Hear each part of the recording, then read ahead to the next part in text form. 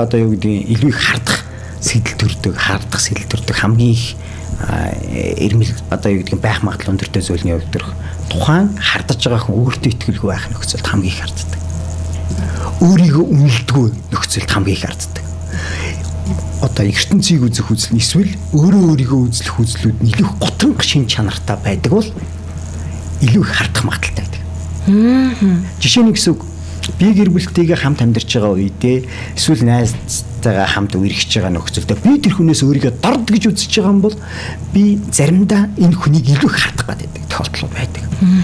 Тэрний өгөхлөр өөртөө ихтгэлгүй шин чанарууд энэ даалд бас нуугдж яадаг байх л тийм. Тэгэл тэрийгэ илэрхийлж байгаа нь чи ингээд надаас хол яваад чи ингээд энэ гэдэг ингээд нэг юм одоо юу гэдгийг юм хардах сэтлүүд үүсээд ч гэдэг юм нэг хэвэм шаардлагын тухай ярьж шүү дээ.